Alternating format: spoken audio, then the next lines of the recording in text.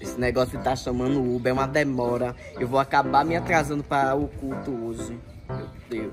Aqui, ó. 10 minutos. Tem que esperar, né? Eu já atrasada. Ai, menina, que bom que esse Uber chegou, né? Graças a Deus, ó. Chegou meu Uber. Vamos embora. Uma demora, né? Mas graças a Deus chegou, né? Vamos embora pegar meu café agora. Mais tarde eu volto. Bota pra torar!